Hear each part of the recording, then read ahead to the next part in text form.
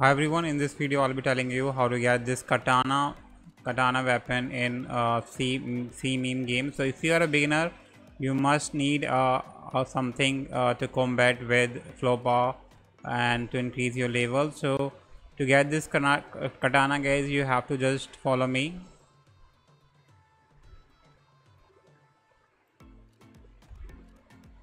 So you have to come to this dodge uh, NPC and just need to talk to him so it says that you need uh, you need to you need five thousand uh, dollars to uh, purchase this katana. So this is the best weapon in the game not gonna lie. So you have to click on this purchase button and you are going to get the katana in your inventory.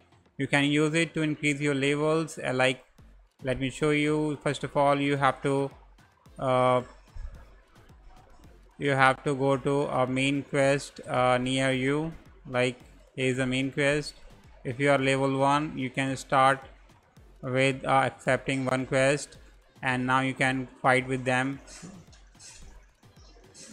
You can fight with them. Make sure to and just keep an eye on your health as well because this will they will uh, make you suffer as well. So right now you need, need to guys uh, finish uh, five Floppa. Right now i have finished two Floppa out of uh, five so but so let's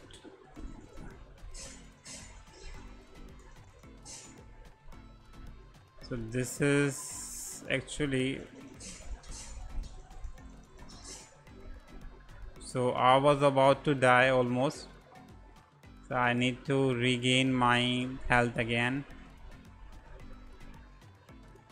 So when you finish when you finish guys uh, the quest you will get thousand dollars and five seven thousand five hundred xp so yep let's uh, finish one more guy and we are done with this quest.